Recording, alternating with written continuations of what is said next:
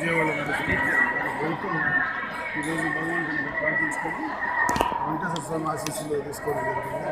భగవంతుని అందరినీ కూడా మన ప్రజలందరినీ కూడా మంచి వర్షాలు పడి సుఖశాంతులతో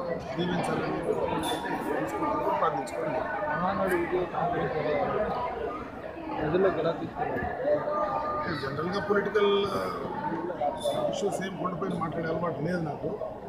అంటే ప్రజలకు సంబంధించినవి మిగతా ఇష్యూస్ ఏదైనా ఉంటే ఇప్పుడు మాట్లాడతాం కానీ పార్టీకి సంబంధించిన ఇష్యూస్ కానీ మిగతాటి జనరల్గా రాజకీయ కోణంలో మాట్లాడేది తెలియదు కానీ బట్ అయితే ఏదైనా రాష్ట్ర భవిష్యత్తు కోసం రేపు ఈ రాష్ట్రానికి మేలు జరిగే దానికోసం మరి ఆ భగవంతుని ఆశీస్సులు రేపు జరిగేటువంటి మహానాడులో కూడా ఈ రాష్ట్ర ప్రజలకు మేలు జరిగే విధంగా కూడా భగవంతుడు ఆశీర్వదించాలని కోరుకుంటున్నాను. రాజకీయ కేంద్రంగా మారుతుంది.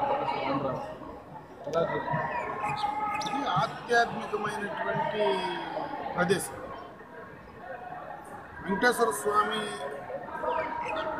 కొండపైన రాజకీయాలు చొప్పించిన వాళ్ళు కానీ రాజకీయ కోణంలో ఇక్కడ మాట్లాడినటువంటి సందర్భాలు కానీ గతంలో చాలా చూసాం నా అనుభవానికి నా వయసుకే చాలా పెద్ద పెద్ద వాళ్ళు కూడా మాట్లాడినటువంటి సందర్భాలు చూసాం అయితే ఎవ్వరు కూడా భగవంతునితో రాజకీయాలు చేసిన వాడిని ప్రత్యేకంగా వెంకటేశ్వర స్వామి తిరుమల కొండల పైన రాజకీయాలు చేసిన వాళ్ళు ఎవ్వరు కూడా బతికి బట్టగట్టినట్టు కానీ వారు ఈ యొక్క సంఘంలో మరి